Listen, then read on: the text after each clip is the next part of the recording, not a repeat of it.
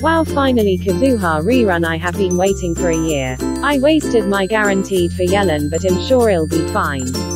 I will win the 50-50. It won't be like last time and it'll finally be a Kazuha Haver. I will be. Fine. Fine.